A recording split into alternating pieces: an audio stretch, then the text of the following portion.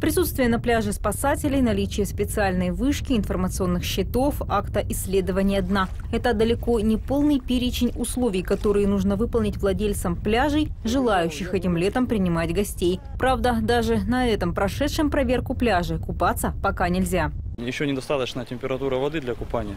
Официально не открыт еще сезон, не объявили по телевидению. Но тем не менее есть все заключения СЭС.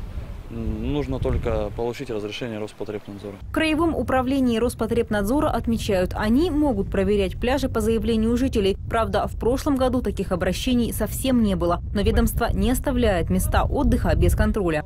У нас есть э, план исследования воды в поверхностных источниках и зон рекреации. Мы в рамках мониторинга такие исследования проводим. На сегодняшний день выдано предписание ФБУС Центр генэпидемиологии, и они будут проводить данные исследования. По данным 2015 года у нас бывали случаи, когда пробы песка и воды не соответствовали данным требованиям гигиенических нормативов.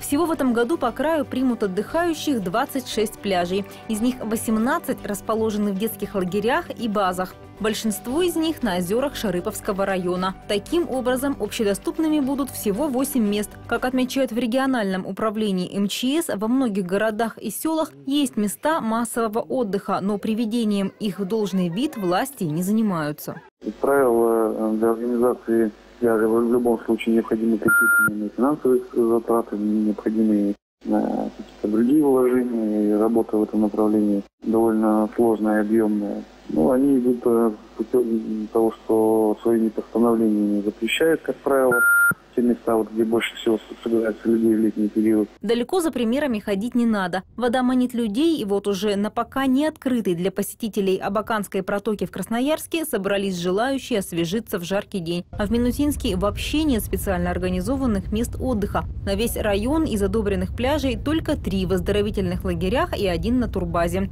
Но люди продолжают купаться, несмотря на запрещающие знаки. И подчас это приводит к печальным последствиям. В этом году утонувших на водоемах Минусинской, и- Минусинского района и города Минусинска нету, а по практике прошлых лет, да, были происшествия, люди тонули, но в основном тонули в местах несанкционированных для купания и также э, в состоянии алкогольного опьянения. Работники пляжей и эксперты напоминают и о том, что порядок на пляжах зависит от самих отдыхающих. Поэтому, выезжая на природу, лучше оставить дома питомцев, а возвращаясь домой, выбросить за собой мусор. Анна Московских, Павел Потылицын, Андрей Крупнов. Новости.